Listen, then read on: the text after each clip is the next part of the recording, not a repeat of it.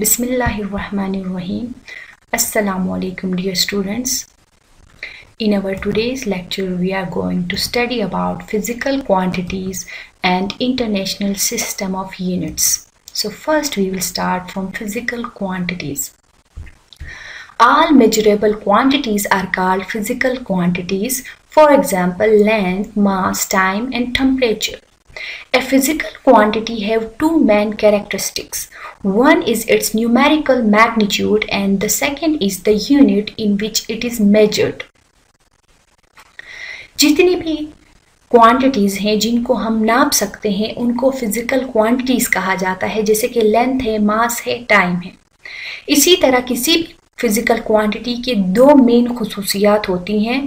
एक उसकी numerical magnitude होती है और दूसरा वो यूनिट होता है जिसमें उस क्वांटिटी को नापा गया है। For example if the height of a student is 120 centimetre then 120 is the numerical magnitude and centimetre is the unit of measurement It would be meaningless to state 120 or centimeter only. इसी तरह अगर हम किसी student की height की बात करते हैं और उसकी हाइट 120 सेंटीमीटर है तो इसमें 120 उसकी न्यूमेरिकल मैग्नीट्यूड है सेंटीमीटर वो यूनिट है जिसके अंदर उसको नापा गया है अगर हम जस्ट 120 कहते हैं और अगर हम खाली सेंटीमीटर कहते हैं तो ये बात बेमैनी हो जाती है।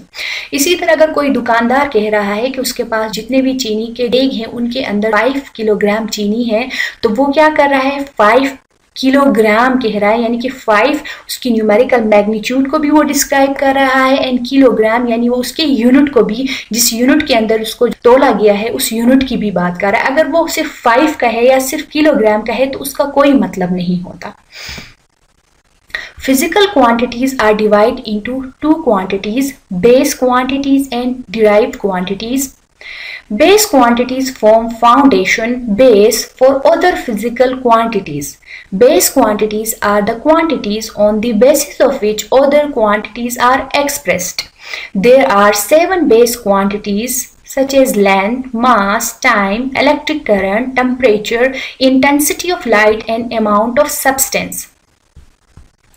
Base quantities वो बुनियादी क्वांटिटीज़ होती हैं जिनकी मदद से दूसरी जो फ़िज़िकल क्वांटिटीज़ हैं, उनको एक्सप्रेस किया जा सकता है। और बेस क्वांटिटीज़ की तादाद सात है और उनके नाम ये हैं length mass time electric current temperature intensity of light and amount of substance derived quantities those physical quantities which are expressed in terms of base quantities are called derived quantities. These include area, volume, speed, energy, momentum, force, work, power, etc. जो drive quantities वो quantities होती हैं जो in terms of base quantities जिनको express किया जाता है और इनमें हमारे पास एरिया है वॉल्यूम है स्पीड है एनर्जी है मोमेंटम है फोर्स वर्क इसी तरह से बहुत सारी ड्राइव क्वांटिटीज मौजूद हैं। यानी इन सात के अलावा बाकी जितनी भी हम फिजिक्स के अंदर जो फ़िज़िकल क्वांटिटीज पढ़ते हैं, वो सारी ड्राइव क्वांटिटीज हैं। और ड्राइव क्वांटिटी जो होती है, दो या दो से ज़्यादा बेस क्वांटिटीज से मिल के बनती है। अगर हम एरिया की बात करें तो अगर हम किसी रेक्टेंगल के एरिया की बात करते हैं तो उसकी लेंथ और ब्रिथ को हम मल्टीप्लाई करते हैं। ब्रिथ होती है, वो भी लेंथ ही होती है। So area equal to length multiply by length length हमारे पास क्या है? एक बे, दो, ये दोनों बेस क्वांटिटीज हैं। और एरिया क्या है? ड्राइव क्वांटिटी है। इसी तरह अगर हम स्पीड की बात करते हैं, जो कि ड्राइव क्वांटिटी है, ये बना है डिस्टेंस डिवाइडेड बाई टाइम से। डिस्टेंस यानी सिंपली दो पॉइंट्स के बीच की लेंथ ही होती है। या वो जो पाथ हम कवर करते हैं, उसकी लेंथ को हम डिस्टेंस कहते हैं। तो ये भी एक बेस क्वांटिटी है और टाइम भी बेस क्वांटिटीज है। यानी कि टाइम और लेंथ वो बेस क्वांटिटीज हैं जिनसे मिलके ड्राइव क्वांटिटी यानी कि स्पीड बना है। International system of units Before studying about the units associated with base and drive quantities, we need to know about the universally adopted system of units for physical quantities. This is to be noted that measuring is not simply counting. Like if we need milk or sugar, we need to understand what quantity of milk is or sugar is required. Similarly, to describe the physical quantities, a standard quantity is required with which the quantities can be compared and expressed. This standard quantity is known as unit. With the developments in the field of science and technology, the need for commonly acceptable system of units was seriously felt all over the world, particularly to exchange scientific and technical information. जो base and derived quantities की हमने बात की, इनके units के बारे में पढ़ने से पहले हमें ये बात जानना लाजमी है कि दुनिया के अंदर कौन सा सिस्टम ऑफ़ यूनिट्स इस्तेमाल हो रहा है, यानी कौन से ऐसे यूनिट्स है जो पूरी दुनिया के अंदर इस्तेमाल हो रहे हैं। और ये बात नोट करना लाजमी है कि नाप तोड़ का मतलब सिर्फ़ क्वांटिटीज को गिनना नहीं होता है। जैसे कि अगर हमें दूध या चीनी चाहिए तो हमें किस मकदार में वो चाहिए, इस बात को समझना लाजमी होता है। अगर हम किसी, इसी तरह हमें किसी भी फ़िज़िकल क्वांटिटी को डिस्क्राइब करना है तो हमें उसको डिस्क्राइब करने के लिए एक स्टैंडर्ड क्वांटिटी हमें चाहिए होती है। एक स्टैंडर्ड सेट करना होता है, फिर उस स्टैंडर्ड क्वांटिटी के साथ कंपेयर करते हुए अननोन क्वांटिटी को हम एक्सप्रेस करते करते हैं। और वो जो स्टैंडर्ड हम मुंतखब करते हैं, उस स्टैंडर्ड क्वांटिटी को नाम दिया जाता है यूनिट का।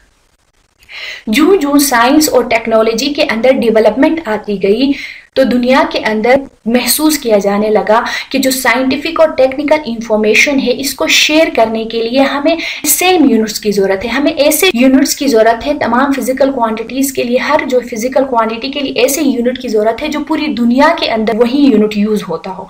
जैसे कि लेंथ के लिए हमारे पास बहुत सारे यूनिट्स हैं। सेंटीमीटर भी है किलोमीटर भी है मीटर भी है इंच भी है। तो कौन सा यूनिट होगा जो पूरी दुनिया के अंदर इस्तेमाल होता होगा? क्योंकि अगर एक दुनिया के एक किसी एक कंट्री के लोग लेंथ को मीटर में या सेंटीमीटर में नाप तोल कर रहे हैं और वो लेंथ के बारे में जब बात करेंगे तो उस यूनिट में बात कर रहे होंगे। और जब किसी और कंट्री के अंदर उसी लेंथ को अगर इंचेस में नाप नापा जा रहा है तो वो लोग इंचेस में बात करेंगे तो फिर इंफॉर्मेशन को शेयर करने में मुश्किल होगी। इसीलिए इस बात की ज़रूरत पेश आई कि जो फ़िज़िकल क्वांटिटीज हैं, उनको ऐसे यूनिट्स दिए जाए जो पूरी दुनिया के अंदर कॉमन यूज़ होते हों।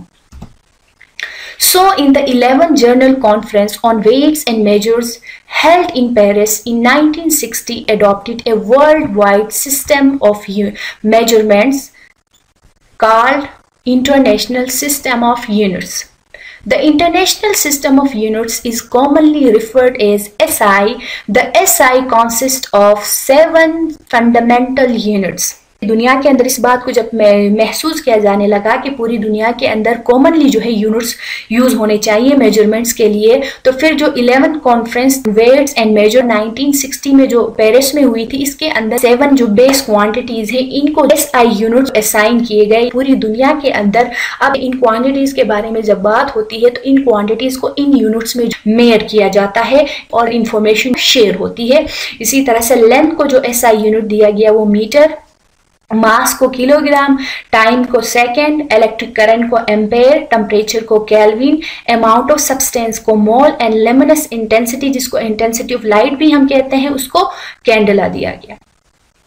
तो बाकी बेस यूनिट्स और ड्राइव यूनिट्स के बारे में डिटेल में अपने अगले लेक्चर में पढ़ेंगे। लेक्चर इतना था। मजीद लेक्चर्स के लिए हमारे चैनल को सब्सक्राइब करें ताकि आपको नए आने वाले लेक्चर्स की नोटिफिकेशन मिल सके और आप लेक्चर्स को टाइम पर सुन सकें। अल्लाह हाफि